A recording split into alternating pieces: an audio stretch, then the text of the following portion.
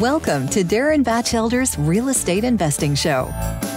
Each week, you will learn how to grow your wealth through real estate investing. Be introduced to the players that are getting it done and learn how you can get involved. And now, here's your host, Darin Batchelder.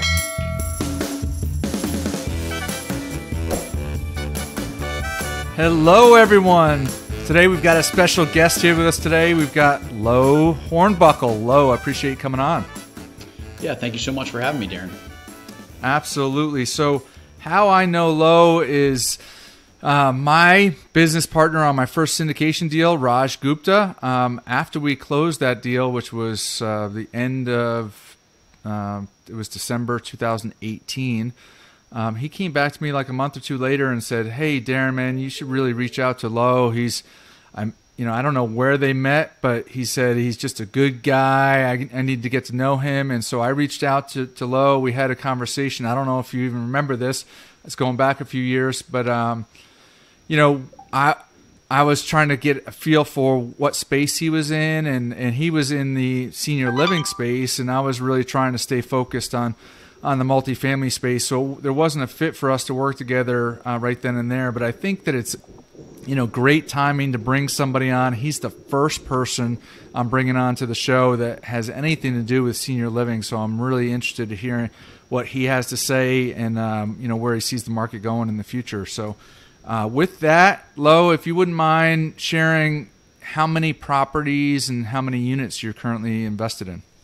Yeah, for sure. Well, uh, I do remember the conversation, and uh, Raj is a good guy. So, I mean, we both got to be pretty good guys if we're connected to him, right? Right. Exactly. But um, yeah, so uh, you know, thanks for having me on the show. And I kind of joke a little bit that if you think about it, senior living is is is the multifamily, right? Because not only are you dealing with a resident, but you're actually are, are also dealing with their families and their expectations. But um, right now, we've got about 40 beds in Dallas with about about 200 beds under construction um, uh, is our is our primary focus. We also do some some build to rent uh, single family development, but our, our, focus of the show today obviously is on the assisted living and memory care piece. So we've got about you know 35 million under construction at present.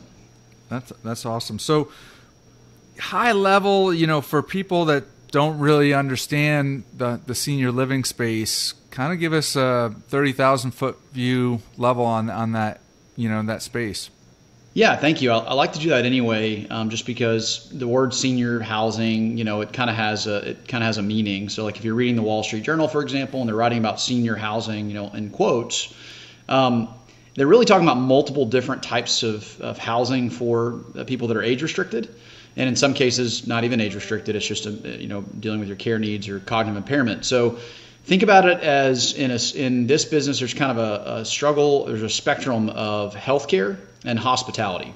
So, on the very far end of the hospitality side, you have independent living, active adult. These are age restricted communities that are often you know built around golf courses or tennis clubs or some other sort of amenity where people who are like-minded and and have a similar interests gather together. You know, most people in independent living might still be driving, for example, um, and they're older than you might think, even though generally they're 55 or 62 is the cutoff, but a lot of them are 70s, 80s, that type of thing.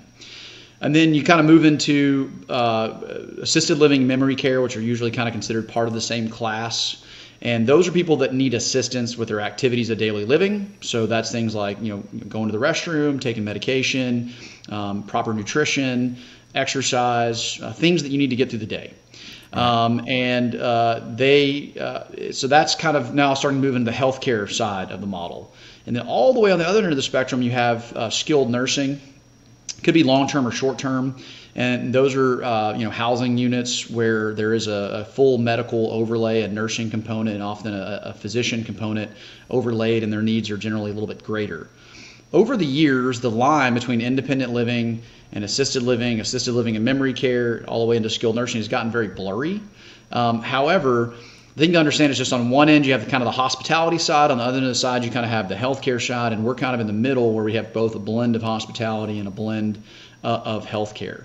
Um, I don't like to think about them as one asset class because actually they're really upstream, downstream providers to each other, and so the issue for us is is that you know you can sometimes see independent living having occupancy go in one direction, and you could have you know assisted living or memory care and skilled nursing going in another.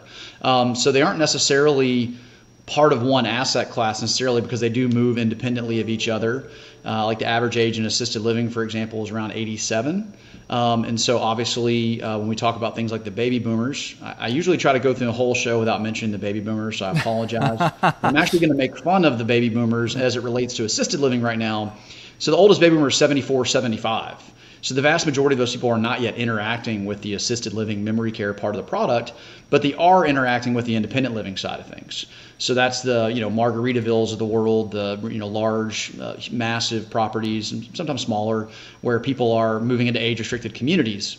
So one of the reasons why I'm so bullish on the industry long term is the big demographic stuff really doesn't hit for 10 or 15 years um, in our business. Explain explain that Sure.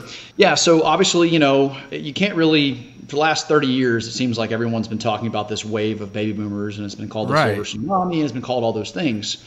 But, but fundamentally, again, if the oldest person in that in that demographic wave is 74, 75, our average age is 87, then on average they really aren't interacting with the product. So the baby boomers just refers to a generation of people uh, born from 1946 to 1964 you know, obviously it's termed from when uh, soldiers came home from World War II and they did what soldiers do when they come home from war and they started making babies. And so that's the baby boom. Um, strangely, the millennial group is actually larger in terms of sheer numbers, but in terms of economic impact, the baby boomers are pretty much undeniable. If you kind of go back and look at the last 60 or 70 years of America, if you just got in a business that happened to serve the baby boomer demographic, you probably did very well. Right. Um, and so a lot of people that talk about assisted living or, or skilled nursing or memory care uh, are often talking about this silver tsunami that's coming, these baby boomers that are coming. They're right, but they're wrong in so much as it's not really here yet. Um, and so it's really something that's kind of coming down the pipeline. Depending so on what segment you're in. Ahead, Depending on what segment of, of, of exactly. You're if you're in independent living and you're talking about the senior housing umbrella, if you're talking about active adult, there there are you know there are absolutely you know resorts that are like, hey, we play Grateful Dead music and the Rolling Stones, come live with us. You know, it's that kind of mentality as opposed to a lot of care needs. Now, saying all that, in, in my communities in Dallas, at one time I had as someone as young as 33 and as old as 107 living with me. So it's not as though baby boomers are not involved in assisted living or memory care. It's just they're not involved at such a level that it's really a demographic trend per se. It's more of an, a one off or an outlier more so than, than the whole group of people. Right. That, that makes sense. So, um, it's very interesting to me because uh, I I read and and see like a lot of places going up, and it just makes sense to me as the population continues to age that it's going to be a bigger and bigger, um, you know, asset class to take a look at, and and it's also a very wealthy demographic. You know, so yeah. you know the baby boomers have a lot of money, and so they want you know into their aging lives, they're going to want to spend that money on quality care as they as they age. So um, I'm interested in that. So one of the things uh, you know I wanted to understand was the difference between multifamily, like good markets, you know, between sure. multifamily and senior living. Like with multifamily, we think of you know we want to be in markets that are landlord friendly, that have population growth and income growth. You know, those are like the major factors. Is it the same in in your asset class, or is it more about the aging? Well, um, a lot of it's the same. So a lot of the areas that are targeted, you know, the Floridas of the world, the Texases of the world, are also very hot for assisted living, memory care, and other forms of senior housing as well. Um, but a lot of that's more related to weather um, than anything, just because obviously as people age, they usually like to be in a little bit warmer climates. Right. There's absolutely a connection between uh, population and low taxes isn't bad either. Sure. Yeah. There's obviously a, um, uh, you know a, a, migration that happens. So, for example, if um, son or daughter is the primary caretaker for, for mom or dad who's recently widowed, they relocate for a job, then there is sometimes a following effect that happens where mom moves nearby, maybe lives with them for a couple of years, and then they might, you know, transition to assisted living or memory care facility. So jobs and population growth are certainly connected, but really more so you're looking for supply demand imbalances because you can have a successful senior housing market where the job situation isn't very good. Um, you know, you could have a market where uh, you know, say 20 or 30 years ago, a lot of wealth was created in that market, and then now the population's on decline. And usually, the people that hang on are the people that no longer need those jobs, right? So, if a, a, a town is very much based around a you know factory or plant, plant closes. Usually, the older folks don't necessarily you know move away because uh, they're not chasing that anymore. They're living off fixed income, they're living off savings or other investments that they made. So they're not necessarily necessarily interconnected. So you're looking for those kind of supply demand imbalances. Right. Our company really does focus on uh, secondary and tertiary markets, and I'll explain why in a second. But the, the, the, the idea for me really is senior housing, and, and I'm now I'm using the term as a catch-all, is right. very much overbuilt in quite a few markets. And part of the reason why is a lot of people have bought into this baby boomer story. And the truth is, is that you know if you build something and your customers are coming in 15 years – or maybe five years ago they're coming in 20 years then then you really you're really not focused on that demographic wave. So i think there was a lot of people that got caught up in the demand demand demand demand demand side of things and really didn't study the supply side. So you have some markets that you know are overbuilt and that have those challenges and i'm, I'm bullish on them long term but you got to get to that that that first edge of the wave in order to sort of meet that. We're so in a put, little bit put you a, on the spot what sure. what would what would be some of those markets that you think are oversaturated? So Dallas is always in the top five, which is where I chose to start my operation. So I kind of like that because I feel like if I've been successful in Dallas, which is a very challenging, difficult market, we usually outperform the market. Then that's kind of a market. You know, I think San Antonio's one. Um, I really study the Texas markets mostly, so I don't really look at a lot of overbuilt numbers nationally. Now, when you're saying bringing these markets up, Dallas, San Antonio, are you saying that those are attractive markets or those are markets that are oversaturated? So they generally always find their way on the overbuilt list. Gotcha. Now, what our company tries to do, so the reason we focus on secondary and tertiary markets, we find it's very difficult for a secondary and tertiary market to be overbuilt, right? No one's in a boardroom in New York trying to solve a senior housing problem in a, a ring city of Dallas, which is a nice perk. Land is less expensive. We develop mostly, and so that's kind of an attractive feature. And honestly, because um, because the rents sometimes are not necessarily related to um, the same metrics you would find, you can often find similar rents in a suburban market as you would an urban market, right? So there's opportunity there for for uh, for good uh, good potential. Um, one of the things that I really want to clarify that really makes this different from multifamily for your listeners is this is a people driven business. So when I do apartment shows, just imagine for a moment that you've got a leasing agent with a client and you're showing them apartments. And the apartment's the wrong location, it's maybe a little out of their price range, but they love the leasing agent. How many times are they going to lease that place? Most people would say not very much in multifamily, but in assisted living, if you resonate with a person, with a team, with a caregiver, the executive director, you will often make decisions where it's not the perfect location, not the perfect price, maybe the room's not exactly the room that you want because you're really in the people business. Right. And so it's very different, whereas multifamily is more location, price, competitive based. It's more of a commoditized business. Assisted living is much more of a service business. And so what you really have to do is if you're going to go into competitive markets, you absolutely have to have a compelling, unique selling proposition um, so that you can outperform the market. So a lot of what we try to do is build a product class I'm sure we'll get into later in the show, that allows us to basically get our unfair share. You know, look, if we get our fair share, fine, we're, we're doing good analysis on the markets. But if we have to, we can roll up our sleeves and we can we can compete and we can challenge competitors because of our model is, uh, is superior. That, that makes sense. One of the things that just high level that I think of in terms of, and I am lumping them all together when I say senior sure. living, um, is is that you know multifamily. I mean, you mentioned it commoditized. Um, you know, it's a it's a nice, affordable place to live, um, but and it's real estate. You know, where senior living, I think of has two components. Really has the real estate component, the location, the actual amenities of, of the property. Um, but then there's, like you mentioned, it's very much a service business. There is very much an operations component to it that is very much different than multifamily. Multifamily, you could have, you know, a leasing agent or maybe you know two or three leasing agents, you know, depending on the size of the property, and then some maintenance uh, personnel. But it's it's very different. The operations is a much bigger component in your in your world.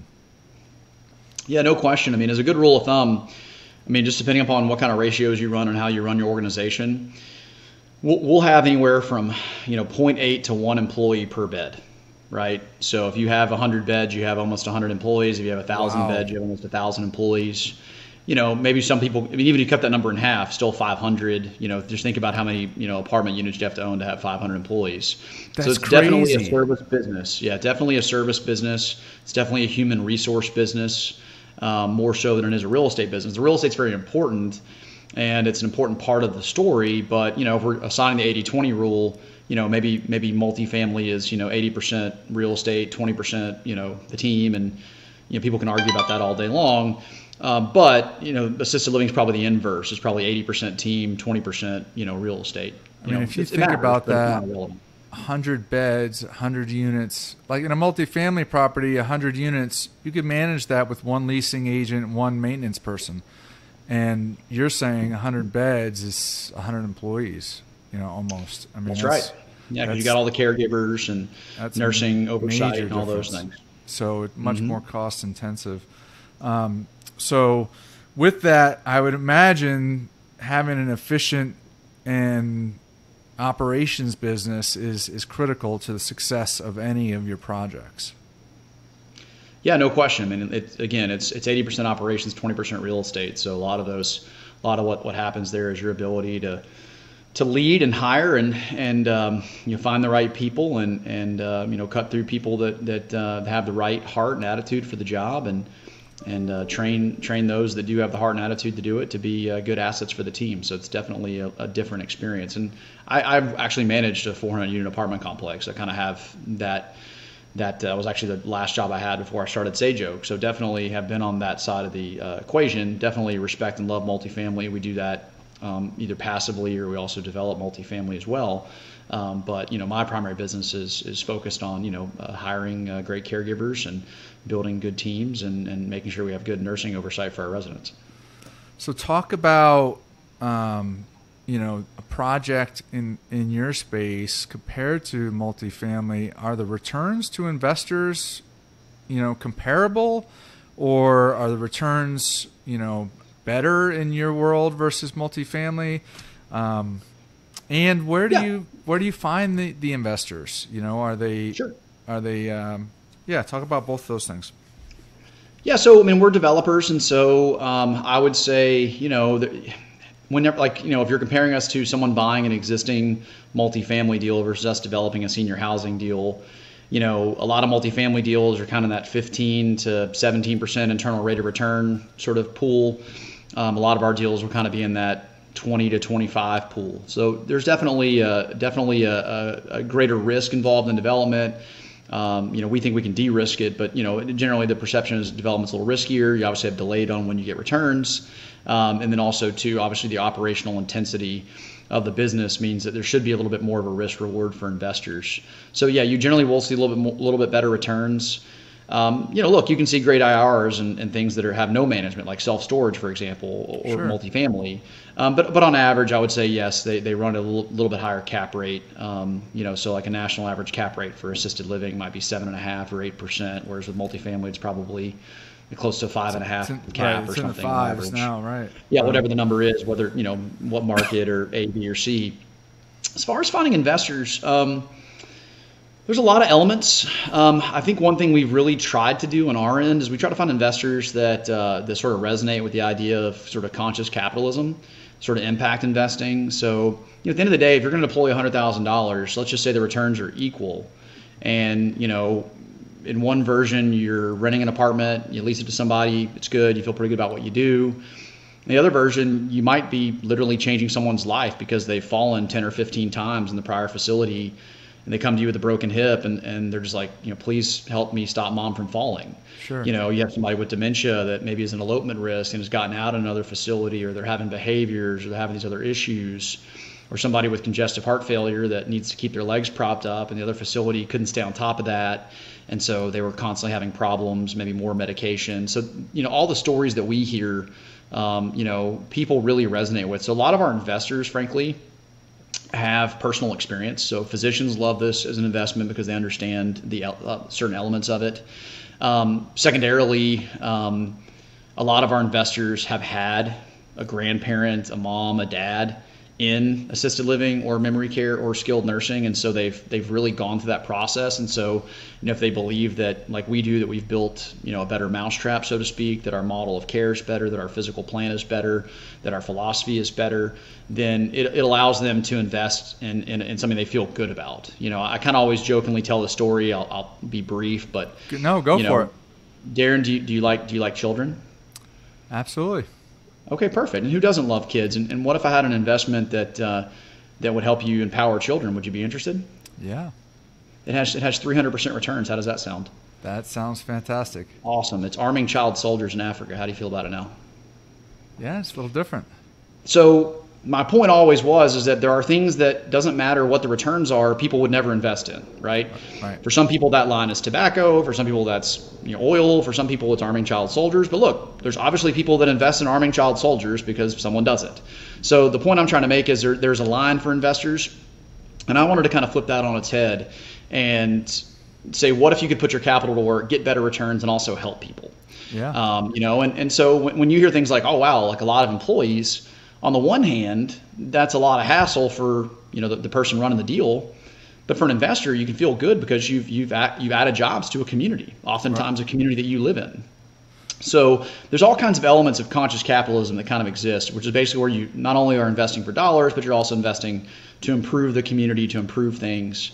You know, anecdotally, when we go through like metropolitan planning commissions or zoning boards, we don't get a lot of pushback when we're installing, you know, clean, safe, affordable senior housing, but you could get pushback, you know, for apartments and other things. And we've had that experience on sort of side by side plats before. So the communities generally really want this stuff. And so people feel good about investing in these types of things. That's a big thing that we talk about.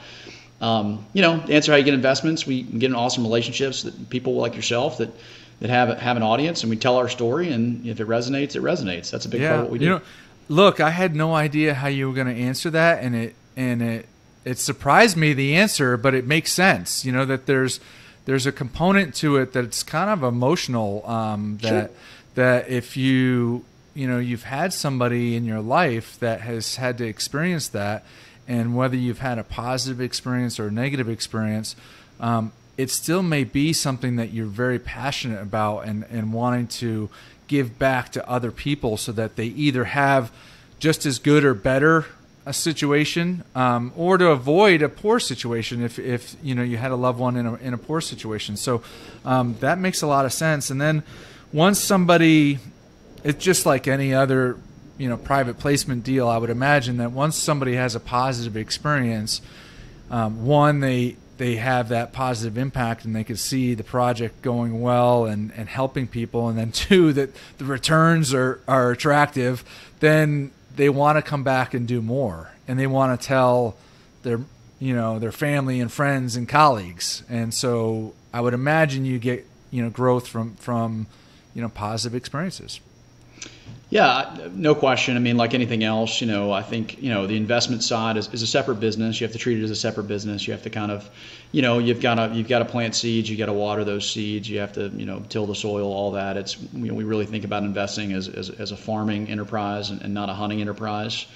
Um, you know, I've probably done, you know, I don't know, 10 or 12 shows in the last couple months and, we really don't have a raise coming up. We don't anticipate having a raise necessarily anytime soon. It's just because, you know, we just really enjoy getting into relationships with people and, and finding more about what they want to learn about.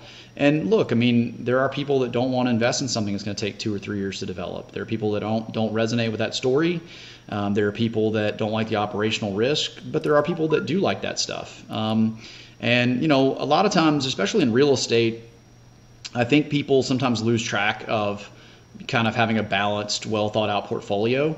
You know, so for example, if someone's like really successful in one space, they just like pound that space over and over and over again. Right. But I would argue sometimes that's risky, right? So if you're successful in self storage, there's no harm in having, you know, 5% or 10% of your portfolio allocated to multifamily.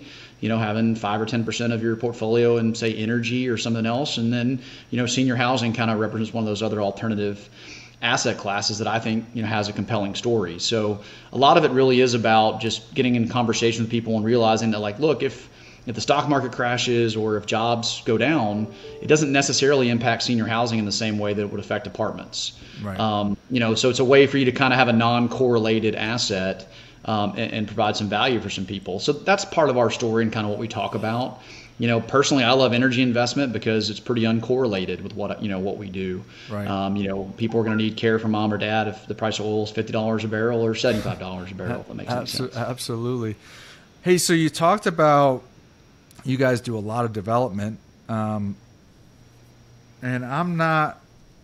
I haven't been involved in any development deals, but ones that have been presented to me um, have been such that actually uh, now I am involved in. I'm in one retail development deal now, um, sure. but in any event, it's been presented to me that it's really the initial investment is getting from you know just ground to getting it developed. And then then at that point you know you could end, end up you know getting out of the deal or sure. potentially continue on. Are your deals structured that way as well?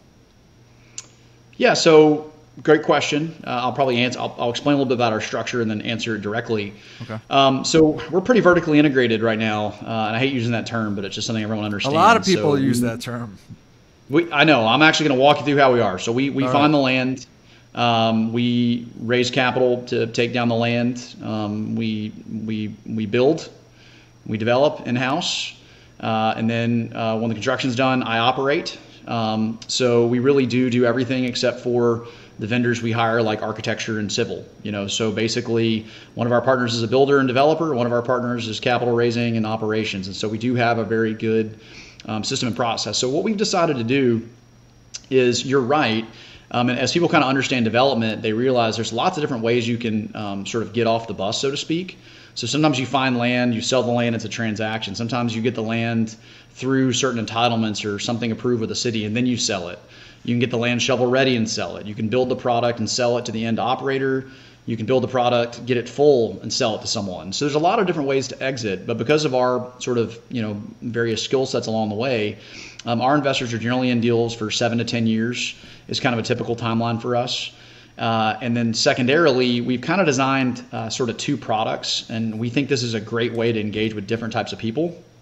So we find a piece of land, we'll go get a land loan for it, and then we'll budget, you know, because land development's expensive. You could spend several hundred thousand dollars with due diligence and with architects and concepts and civil engineers you know, before you ever even meet with the city. So what we'll do is we'll offer a product that looks a lot like you know 18 month, two year hard hard money for land, right? So maybe we'll give investors a 12% or a 15% return, and they basically get two things. They get that return at the end when we sell to, to the next phase. So we're basically our own customer, but they also secure the first right of refusal in the next phase. So for people that know that our deals sometimes at that you know uh, lease up construction phase sometimes fill up pretty quickly. Um, as an example, on our last project, we had 1.5 million dollars for a, a, land deal that we did, and that 1.5 pledged a little over 2 million for the next phase. So we had a, almost a 33% increase over um, over that initial phase. So what that allows us to do and I'm sure your gears are kind of turning. It kind of gives us two different products. So we can have people that inter- interact with us. There's like, look, I want to be involved with you guys for 18 months, two years, make my percent, straight coupon. I'm out of the deal. And some people do do that. And then other people are like, I want to stay in the whole way. And so it does a couple things. It gives investors different products to think about, but it also allows us to kind of reset the internal rate of return clock because it's two separate transactions. Right. And so sometimes it might take three or four years in certain cities to actually find a piece of land and start building anything on it. Well, if we break that four years up, pay the investors into two years, and start that clock again, it really doesn't put as much downward pressure on the internal rate of return. Um, because obviously, internal rate of return, your, your enemy is the clock, right? Right. Money today is worth more than money in the future. And so, obviously, if you can break it up, so it allows us to really have a couple different products and then also solve some investor concerns. And it also de risk things because some investors can say, hey, get it to reduce municipal risk, get it to where the land is shovel ready, and then I want to invest, right? Because your, their fear is not the operations or not the demographics. Their fear is a government saying, "Hey, we don't want this," or you know, kind of nitpicking your sidewalk width, for example. Right, right, right. So that's kind of our that's kind of our way of doing things. We found it's worked really well, and, and, our, and our investors seem to resonate with that sort of two phase uh, procedure. No, that's great because, like you said, I mean, you have different investors that have different needs, different wants, different fears, um, and to be able to uh, satisfy, you know, the needs of multiple different types of investors is, is key. And let to let yeah. them either stay in, you know, all the way through, or get off the bus, like you said, you know, at different stages. That's that's attractive as well. Um, For sure. So, my recollection, and maybe it's things have changed, but my recollection is that your your projects were a little different than what I would I I would kind of envision. Like I I'm driving on you know one of the freeways in Dallas, and I go by, you know, a, a senior living facility, and it looks kind of like a apartment complex, or it looks kind of like a hotel. Um, and I know it's you know it says senior living, so I know that they have a lot, you know, a lot of other amenities in there and and staff and whatnot. But my understanding was, at least at some point, you guys were like buying up single family homes and then renovating them and and making it uh, more homey for you know these people to to be involved in rather than being a big you know kind of hospital like facility. Yep no that's uh, you got the recollection correct. Um, and that's actually a great starting point to answer the question. Um, so good question. Um, so uh, single family homes sometimes referred to as residential assisted living residential care homes it's kind of its own little niche in the space it's how I cut my teeth. It's how I got in the business. It's the model of care that I think is superior for a lot of things. I think your food, your care, your communication will be better in, in those environments, and that's actually our company slogan: great care, great food, great communication. Um, however, there are some challenges with that model, um, and so what I what I kind of do is just kind of relate to my personal story. When I had one care home with eight residents, I worked really hard. When I had two care homes, 16 residents, I worked twice as hard. when I had five care homes, I didn't really have to work as much. And so there's scaling problems with that business. And so a lot of times, you know, the one or so what happens with a lot of investors or a lot of entrepreneurs is you have this um, you have this sort of class of entrepreneurs that want to be hands off. They really want to be investors. And you know, when you're starting an operationally intensive business, it's got to be big enough for you to hire everybody you need. Otherwise, you're gonna have to do some of those things. So I was the manager. I was, you know, touring the facility. You know, obviously I had help, but um, but I was having to do a lot of things that that, you, that when you go buy a 100 unit apartment complex, you wouldn't necessarily have to do. So we'll just kind of pause that for a second to relate that to your audience. It's the difference between buying a 200 unit apartment complex that has all the scale versus buying a 20 unit apartment apartment complex where you don't necessarily have that scale. Right. And you might be paying someone like, oh, I'll give you half off your rent, and you be the property manager type arrangements. Well, imagine though that on that 20 unit building you couldn't find a property manager you had to self-manage. That's really the way it works in RAL. There really isn't um, a viable, not yet. Maybe there will be. We've we've talked about it with some people and some thought leaders in the space. There's not really a viable model for third-party management of an eight or ten bed facility because it's just hard to scale. Right. Now go all the way back to the other end of the spectrum. That big senior living facility that you were describing, it has flaws. It has technical and structural flaws in it.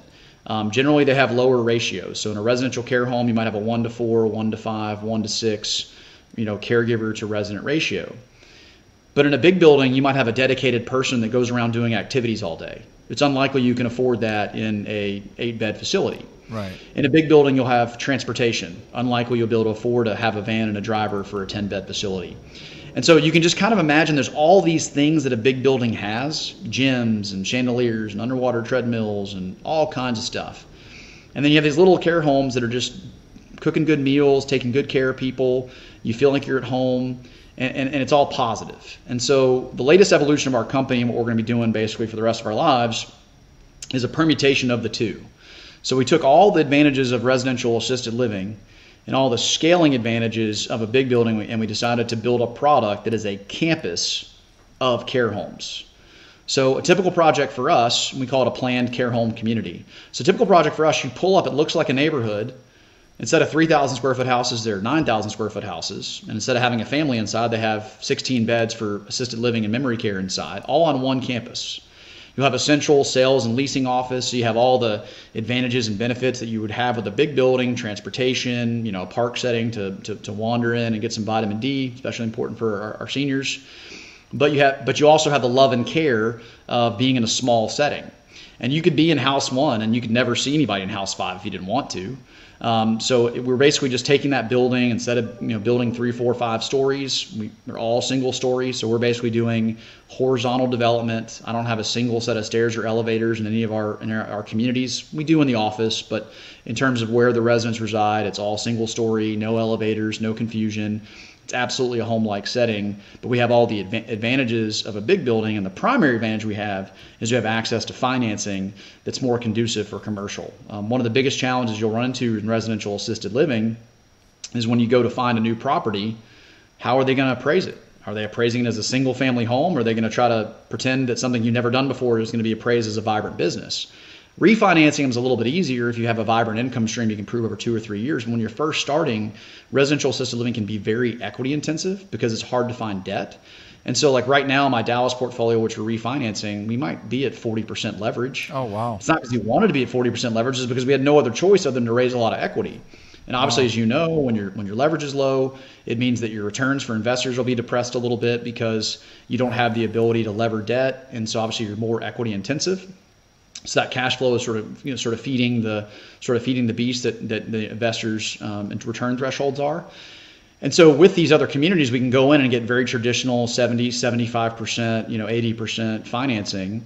And it really does flip the whole thing on its head. And then, of course, now the real key to the whole thing is you've got your whole team. You've got an executive director, you've got an assistant executive director, you have nursing oversight, you have activities, you've got a sales and leasing person, marketing, all on this one campus but we still have all the advantages, right? It's still an open kitchen. There's still no long hallways. We still cut down on falls. It still feels like home. So if you've got dementia, you're not confused because you spent 50 years in a house and now all of a sudden you're in this big, you know, glass apartment building. Right. So we really have kind of taken the best of both worlds and, and, and kind of put them together. So and what so, does a campus um, look like in terms of size? So you talked about 9,000 square feet, um, and I think you said eight beds in that. Um, uh, 16 on that. 16, in, in, in, oh, our, in our new development, okay. we do 16. Our, our, Dallas operation has eight beds per house. So, how many buildings, how many units in one campus It would be kind of typical? Sure. Great question. So, we'll usually look for a minimum of six acres. Um, you know, we have a site as big as 20 acres right now that we'll plan on selling off part of the parcel to possibly a synergistic partner. Our, our project in Denton, actually, you'll have to come uh, come visit it sometime. Yeah, but our project cool. in Denton, uh, we're putting in roads right now, and we also have a chunk of the land for sale because we, we bought 20 acres. We didn't need it all. I we'll probably I develop, remember when you were raising for that a, while back. Yeah, so yeah, we'll I'd probably develop. That about 10 acres of that for assisted living and memory care. We found that our magic number is when we first do our first phase, we like to start off with about 80 beds as a minimum. So that would be five 16 bed houses. Our project in Denton has 96 beds to start. Every time we do a project, it's, it's that number of buildings plus one because we have a independent sales and leasing office where the admin team is, is contained. Um, so, you know, we'll build build anywhere from five to six to 10 acres. Um, and we want to try to create a nice park setting. You know, so if somebody wants to go, go on a walk or go on a visit, we've got nice walkways and, and, and landscaping so they can get outside and, and be outdoors. Um, one thing that I want to just make sure that everyone understands because of when this is being recorded, look, I don't know when it'll be released, but as of right now, we're, we're in the middle of COVID, right? We've got you've got a, a big pandemic and that it affects uh, the elderly especially, and especially the elderly that have comorbidities, i.e., people in assisted living and skilled nursing. Um, we don't have a single case of COVID in our Dallas operation, not one. Awesome. And and you know, look, our team has done a great job, but you know, one of the secret sauces is our model is superior to infection control.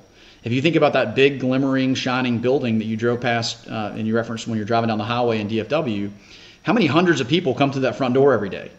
And so when you got something that you know, like the flu or norovirus, or in this case, COVID um, you know, it can get into a building pretty easily. And then once it's in there, it's very difficult. You know, you got somebody that wanders. It's very difficult to isolate. And so you've got a you've got an outbreak on your hands, and that's that's what we've seen all over America. When the counting's all said and done, I think about 30 or 35 percent of all deaths in the United States from COVID will be directly related to long-term care facilities. So it's a big, big problem, long-term care.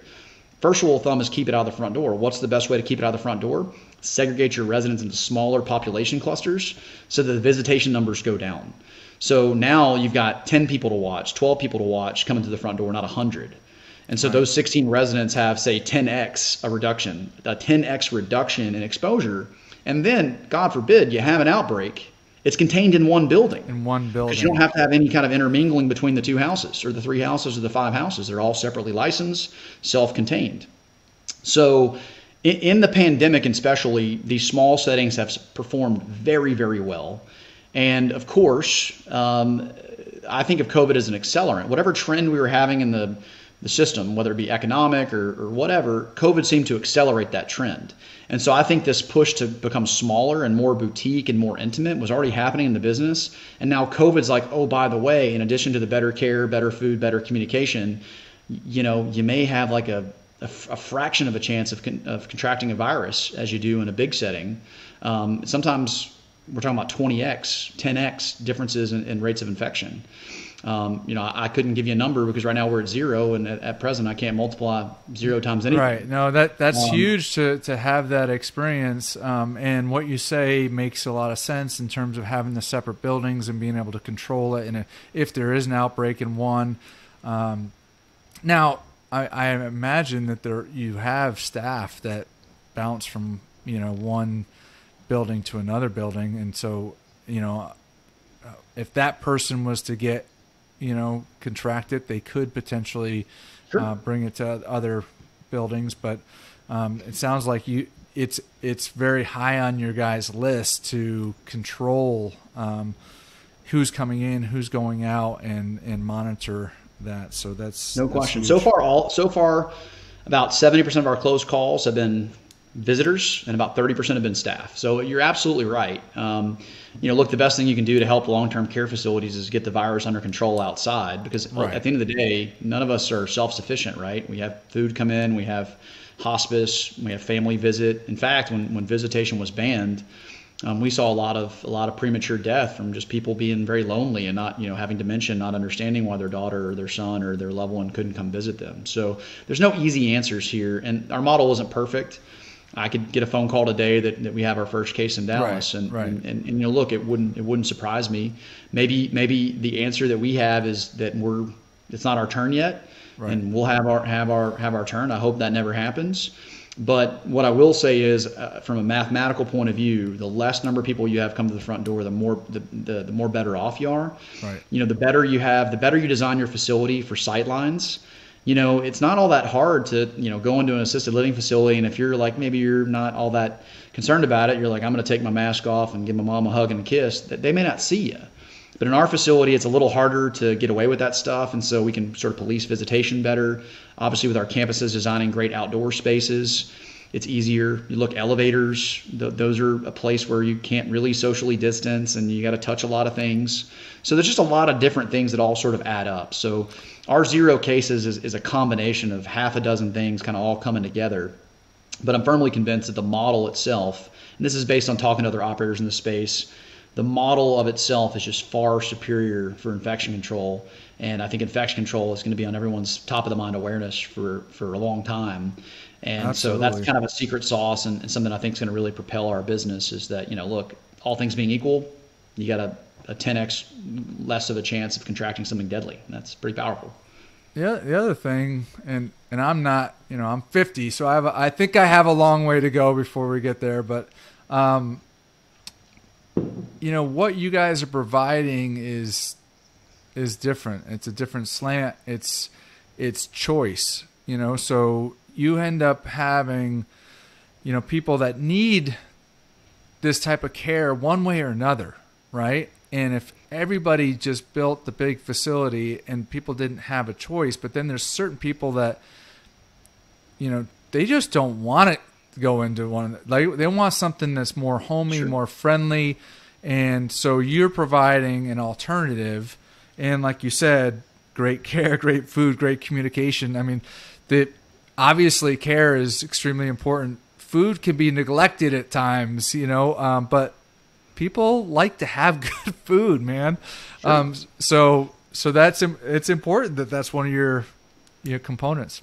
No, I mean you nailed it, and we actually think the secret for our company really is communication. The, the sort of the third one, because anybody that's ever interacted with American healthcare has dozens of. I really wish they would have communicated with me better stories, right? But and you're talking about um, the family communication both. to the family yeah. or communication to the, to the actual communicating to families any number of things okay. just a very we take a very we take communication very seriously so seriously that it's in our slogan it's it's a commitment that we make to families but but to your point to kind of relate it back to something the audience understands um, I, you know we both invest in apartments i don't think you hate single family homes right, right? you don't hate them i don't hate big buildings but right. I think that apartments and single family homes offer choice to the client. There are some clients that you know a single family home rental makes a ton of sense for, and there are some right. clients that an apartment rental makes a ton of, ton of sense for. And it's really just a battle of market share. There's a certain number of renters. What's their preference? Yeah. Same thing in this. Totally, you know, there are people totally that sense yeah, there are people that want to go into the big shining, you know, they want to work out every day. They want to hang out with 20 people in a, in a, in a little private movie theater. They want to jump on a bus and, and go gamble, or they want to jump on a bus and go to Luby's or Piccadilly or whatever they want to do. And that's, that's the lifestyle they want to have. They want big activities. And there are other people, we talk about it all the time in everyday life. You know, are you an introvert or an extrovert? Well, that's a fundamental question for seniors too you know, if you've been an introvert your entire life, who in the heck wants to go live with 200 other people? You know, you got to go to restaurant style dining with 50, 60 other people. Right. If you happen to be losing your memory and maybe you're at that early stage where you're aware of it, you're embarrassed, you don't know the people, you're shy. And so what do you do? You self isolate. You spend all day, every day in your room, and you see a lot of that in a big building. But when you go to a care home or a residential assisted living facility like what we're talking about, a lot of people are in the common area because it's bite size. It's more like Thanksgiving every day than it is, you know, a 40 or 50 person dinner in a restaurant style dining setting or, or these activities that, that have so many people. So it's just less intimidating for certain people. You know, the other thing that kind of kind of comes into play is, you know, what's your mobility like? You know, the, the, harder it is for you to go down the hallway, the shorter you want that hallway to be. Right. Um, you know, so if you've got to go 100 yards down a hall, take a left, go 50 more yards to get to get to dinner, maybe go down an elevator that's a chore. Um, but if you're just 50 feet away, like in a traditional single family home, it's, it's less of a chore. And so um, we fundamentally see changes in behavior when you change environments. Western medicine, unfortunately, you know, doctors probably would learn a whole lot more if they just went to your house because they'd see how you were living. They would see what the challenges are that you'd have. That you come to the office, they don't talk about your diet, they don't know what the physical layout of your house is, and it's like, look, if you have mobility problems and you got 100 stairs at your house, probably a problem. And so for us, it's all about just create, like you said, creating choice and giving different options. You know, we think it's a better way for a lot of people, but it's not for everybody. Just like right. a big building's not for everybody, just like an apartment's not for everybody, just like a single family rental's not for everybody. So, Loe, let me ask you this: like, it's obvious through this discussion that you have a lot of passion for what you do. Um, and you also mentioned that you did apartments you had a 400 unit apartment complex that you managed before getting into this. You know why? Why did you make the switch? Well, actually, I know the exact day that I decided. So um, t- tell me why. Well, I mean, so there's there's two things at, at there's one story that's humorous, which is why I left the apartment business. But but the other thing really was um, just like some of the investors, you know, personal. Uh, my my dad got sick in 20, 2013. Um, I was quit my job and was going to do some traveling, and his health deteriorated, and we stopped our trip and came home early. And uh, you know, he ultimately passed away, and he was on hospice, and he had a, a terrible experience. And I spent the better part of the year, which was the statute of limitations in Louisiana, trying to figure out if I wanted to sue the hospice company. And around the time that this was kind of coming to a close, you know, I discovered the residential assisted living model. Now, during that year, I was working at the apartment complex. And so I discovered the residential assisted living model. So it wasn't linear. I got into the business because I was my heart was open and I was exposed to these concepts. Right. You know, I got into the business for capitalist reasons, but then I started realizing like, okay, these are kind of like my grandmother's, and it was kind of like this is not a way for me to honor my dad, and that all kind of happened. But the the moment that I got out of the apartment business was actually pretty funny. I worked at a I worked at a, a property that was probably like thirty percent Section Eight, and it was it was a good property. Um, I'm not like a I'm like a huge kid. I'm like a huge kid guy. I actually love the elderly way more than I like kids. And we had a lot of kids at our property. And as summer was approaching, the way that property worked is during like business hours during school, it, it ran great. And then when that bus pulled up and the kids got off, it was it was a free for all. And, and and I was the manager, the assistant manager for most of the time. So I was running around and I took my job seriously. And I remember I was walking the grounds and I knew summer was coming and I saw these kids and they had broken up this like we had I guess this random concrete thing that might have been a barbecue pit or something in the past and they'd smashed the concrete up and they were smashing the air conditioners of this apartment complex in Oh, Fort Worth no. with concrete. They're literally destroying where they live. And you know, they're just being kids. I get Right, it. I did dumb things when I was a kid too, but Right. I'm like, you know, I don't have any kids and I don't want to have a hundred kids that I got to deal with over the summer. And so I'm like, there's no way I can survive a summer. They were the company was putting the property up for sale, um, and so I was like, yeah, I knew it was kind of be a short time deal, and, and like they did a good job. They offered bonuses to employees to stay through the process of the sale. I was a little unique. I was doing it for the education, so the money really wasn't important to me. I just was dreading going through a summer, and I said, I'm just not doing this, and and then then I, the senior housing thing kind of happened simultaneously. It was all just kind of lining up. I'm, I'm very lucky. I, I kind of stumbled onto my calling, if that makes any sense. So, Yeah, very well, you know fortunate situation. to do that. Sometimes lucky. Sometimes the big man upstairs kind of points you in a direction. Sometimes, you know, you have to be open to opportunities and then take action, you know, when they come come by because um, look, everybody gets opportunities, but not everybody takes action on them. So I applaud you. Yeah, for that. absent my father, uh, there's no chance I, I would be in this business. I just think it's zero percent chance. Um, but I, you know, when, when people say that God works in mysterious ways, it's not how I believe, but I do think it's kind of amusing to think about like God works in mysterious ways. And in my case, it was kids smashing an air conditioner with concrete. So Yeah. that was what that was my religious awakening, apparently. So. Yeah, so so I do believe in stuff like that, but um, Sure. In in any event, um, let's go back, man. So, how'd you grow up? You know, where'd you grow up? Did you your brothers, sisters, rich, poor? Well, Tell me. this is quick for me because I, I'm I'm only child. Only child. Uh, okay. And uh, Where'd you grow up? Grew, up in Shreveport, Louisiana. Okay. Um, it's a lovely place. Um, you go for the gambling, you stay because you got shot.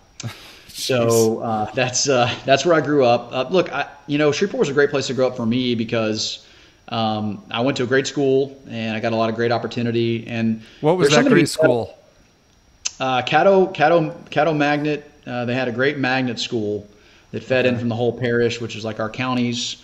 And uh, it was a great school, and I learned a lot, and there's a lot of opportunity. But I just knew Louisiana wasn't for me. So as soon as I graduated, I didn't even take the ACT. You know, Louisiana kind of runs on the ACT system. Most other colleges run on the SAT. I took the SAT, got fortunate, and got a scholarship to the University of Texas, which I quickly punted away after a year uh, of, uh, of uh, you know, I did a good job inside the thing I got a scholarship for, but the educational component was lost on me a little bit, and and uh, so I, I I took a summer off. Thought I was going back to college.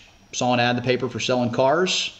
Thought that'd be a fun summer job, and 12 years later, and a bunch of promotions. Uh, you know, I was running a car dealership, and actually one of my business partners is, is, is a car dealer to this day. And uh, he's, he, when I sort of left, I said, "Hey, I'm going to start a company. Would you be interested in helping helping finance that and be a partner?" And he's like, "Absolutely. You've done great for me." And so that's kind of my version of Silicon Valley. You know, it's one of the few industries where you leave a company and they might bankroll your new endeavor. It doesn't happen a lot in the car business, but in my case, it did. So, you know, I was able to learn a lot at the car dealership about sales and marketing and risk and lending and, and all that stuff, but it just didn't touch the heart. And so I said, let me get into real estate. And I've been doing real estate since 07. So I had about seven, eight years where I was at the car dealership and then I would, you know, at night I was the leasing manager and my, my business partner kind of managed the, um, the, the maintenance and repair side of the business. Um, so yeah, I- I've been in real estate for a while. I just sort of made the leap to being full time and into something entrepreneurial back in that 2013, 2014 window. So I'm not letting you off the hook yet on on growing up. So you're you're back, you know, in Louisiana. You're an only child. Mom and dad are they are they entrepreneurs? Not really. I mean, my mother was a pharmacist. Um, my dad um, was an accountant. Um, he did buy one rental house, um, so I, I got that. He had bought one rent. He was like had the one rental house, um, so I did kind of get that experience. Um, you know, they were very supportive of me. Um, you know, they my parents were always the classic. We don't care what you do, just try to be happy. Right. Parents, they, I think they did that part right. What Sadly, was they your mindset growing up? I mean, did you think that you were going to be a business owner at some point, or did were you just kind of going through the system? I probably as a kid thought I was going to do something in like comedy or acting or something, you know, or, and, and then then I thought I was going to be a lawyer for a long time. So I got into debate, and that was kind of the perfect combination of acting and comedy and and, and public speaking. Um, but I don't know, like I just I think I would have been a good lawyer. I think I would have enjoyed being a lawyer, but there was also a lot of supply demand problems with being a lawyer. There's a lot of people in law school, and it seemed like anybody that didn't know what they wanted to do became a lawyer. Um, and I, I, don't really like research that much, so I would have been like the trial lawyer, litigator. I think probably is what would have happened, or I would have done something in sort of the negotiation side of the business. Right. Um, so that's what I thought I was going to do. So I went to University of Texas. I was getting my degree in history because history was the highest acceptance rate in law school, and then uh, took that semester off. And all my friends were like, "You're leaving college to sell cars in Louisiana." I'm like, "That's the plan." that's the plan. So talk to the listeners about some time that you had fear. Like it, it may have been when you you left to to go start up. You know, you may have said, "Am I making a smart decision, a bad decision?" Or or when you left the car business and you're going to start up your own company. But most people that I've talked to, you know, at some point they run into fear, and they have to kind of find a way to push through it. Yeah. So at the car dealership, I sort of told myself this for a long time that I was always a number two. That that I saw myself as a number two. I didn't think I was capable of being a number one. Um, and I think the reason is is that I've had this experience where I can let myself down, but I can't let other people down. If that makes any sense. Yeah. I mean, sometimes so, we're our, our toughest critic, right? Yeah, or just you know, I can lie to myself, but I'm not going to lie to my best friend. I'm not going to lie to my business partner. I'm not going to lie to an investor, right? So, I didn't really understand the time that I could create structures and systems where I could be the number one, but I was accountable to other people, accountable to employees, accountable to other people, and that was just kind of the maturation process. You know, when I left the dealership, I wasn't afraid, mostly because, look, I mean, if you can sell, I mean yeah, maybe I go somewhere else and, you know, I, I, start on a worse situation. I left on good terms. You know, I think I probably could still go back to the dealership if I wanted to, just with maybe some relationships or whatever. So I kind of always thought it would be there. Um, what I, what I, the time that I was the most scared is when I first started becoming a developer. You know, I've only in the last like two months even allowed myself to call myself a developer. Like I might have said I was a developer in conversation, but I didn't really believe it. I was just like, I'm developing. you right. Know, so, right um, but but now you know with with our buildings kind of at a stage now where like it starts to hit me that things are going to exist after I'm gone and and that you know this was a field and now it's something and people are going to go through end of life and have joy and celebration here. You know that that process been very good. But the, the part that I had fear is there's a lot that you can't control in development. And you know, when someone like me, who's like, you know, you paid me to get the job done, whatever it takes, type of guy, um, that can be really tough on you. And you know, when you feel out of control, and you know, Lake Charles, unfortunately, you know, so I've been developing in uh, a pandemic in two markets, two different states. So you have all that stuff and the supply chain stuff, and that's very scary. But then you also have, you know, Lake Charles got hit by two hurricanes. It's the only metro area in the history of the United States to get hit by two hurricanes in the same season. That's crazy. Louisiana, very, yeah, just just total statistical anomaly. And you know, that's scary. And you know, when you're like getting force majeure claims, so I'd sort of joke and say that I'm probably like the most force majeure claims for two developments in history. Like I feel like that's me because I've got I think I'm up to like five force majeure claims. Like people can go their entire career without a force majeure claim, and I have five on two projects. So explain what that is to, to listeners. What is that? The, the short version, uh, look, I'm from Louisiana public school, so I don't know that I should be trying to. I mean, I know a little French, but basically, force majeure is something happens beyond the control of the contractor, subcontractor, or the counterparty to your contract, so much so that they can't honor the contract any longer. Doesn't mean they get to back out. It just means they can reprice the contract. Sometimes means they could back out. So in the case of a hurricane, that's clearly a, a, major natural disaster. The size of the first hurricane that hit Lake Charles was was nothing short of devastating.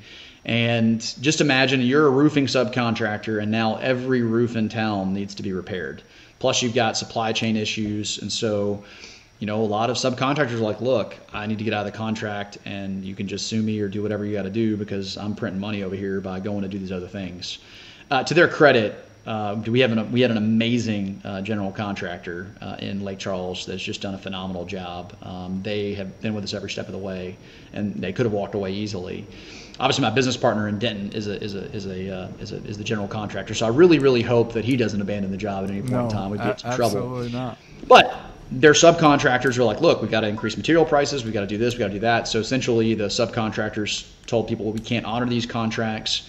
I don't know if you recall uh, during COVID, lumber prices are still high and went Yeah, crazy shot up the mills were shut down. really quickly. So you know, you sign a you sign a uh, an estimate, you know, for lumber at four hundred thousand, and then next thing you know, the lumber's seven hundred thousand or, or eight hundred thousand, and so they can't eat that and stay in business. And so that's what force majeure is: is basically these events beyond their control. And uh, obviously, COVID is, is a source of major force majeure claims, as was a hurricane, and, and then I, I had two hurricanes and a pandemic uh, in Lake Charles. So that's, scary. That, that kept me awake at night, uh, and you know, ultimately, um, the way I sort of reframe all that now, because I'm not dead yet, is it took a lot of grit. And I kind of told my banker as a joke, I'm like, look, man, if we bring this project the way I think we're going to bring it, and, and you get all your money like you're supposed to, you should loan me anything I ever want ever again. this has been I get a, I get a lifetime pass, my man. Lifetime unlimited credit uh, with this bank. So you know that's just and that's how I think about it because ultimately um, there's been a lot of projects that have been stalled out as a result of COVID or as a result of you know natural disasters, and we've dealt with both. Yeah. Um, and we had some self, you know, we shot ourselves in the foot a couple times too. So, you know, you take all that together, um, I am definitely a changed man. Um, So, Loe, what's been- the the next big stretch goal for you, man? You know, it's kind of funny. Um, I, I almost had to stop doing that uh, with development because development is, is so. I mean, you have you have you commit, and it's like years and years into this process. What I'd really like to do is, as long as this is fun, um, and it has to keep being fun, I'd like to be building, you know, one of these, you know, 80, 90 bed, 100 bed facilities, these campuses. You know, I basically like to start one one a year so that we're always in the process of developing one. Stuff is coming online, very much focused on kind of keeping a tight geographical timeline so that we can basically just you know focus on being a great medium-sized regional player in the business. Um, that's kind of what I like to do, as long as it stays fun. I mean, at the end of the day, if I build these couple projects, um, I've certainly found for sure that when I make more money, it doesn't make me happier. I know everyone reads that stuff. We all think that it does. But the truth is, having made more money, it doesn't actually make me happier. Um, I do have a sense of like anxiety reduction when I have a little bit of money in the bank. Clearly, I'm not worried about that. But, you know, to me, the difference between making a million dollars or $500,000 or $2 million, it doesn't really matter to me. Um, I truly, truly enjoy the process of what we're doing. I enjoy helping people. I love the idea of taking a piece of dirt and turning it into something that you know something that it maybe wouldn't exist if I didn't do it. Absolutely. And, um, that that's what speaks to me at this point. That's kind of I'm not creative. I'm not an artist. I can't sing. I can't dance. Uh, all I can really do is talk and and, and uh, figure out a way to. Uh, I'm sure you could do more than that, but hey, so I can talk and I can I can lead a team to help build There- stuff. You know, you so that's basically. you- and, and you have a vision, and you're able to execute on that vision. But so, what what do you like to do outside of work? Yeah, I really just have a couple hobbies. Um, I play poker, um, what probably people would consider to be relatively high stakes poker. Uh, and then I, I shoot a lot, um, so uh, mostly long range. So I shoot at like a thousand to fifteen hundred yards. I'm kind of working my way to a mile. I think probably within a couple months we'll we'll be out to a mile. Um, it's an expensive hobby. Ammo's high right now, and you, you got so I've, I've spent a lot of money on guns and ammo in Right. the last couple. Of, basically, I play poker to fund my uh, my my gun and ammo uh, habit. Nice. So my two hobbies are po- yes. I'm just like I don't know. I'm like this half city boy, Texan country boy. It's very it's a very weird permutation. So um, you know, I'm like drinking fine wine, playing poker, and then going out in the in the, in the uh, elements and, and shooting, shooting at a thousand yards. Yeah. Fantastic. Well, uh, if people want to get a hold of you, what's the best way to for them to reach out?